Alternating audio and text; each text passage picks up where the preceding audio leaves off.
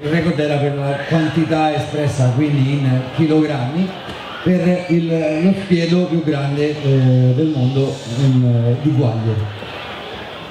Eh, il record precedente da battere era di 360 kg.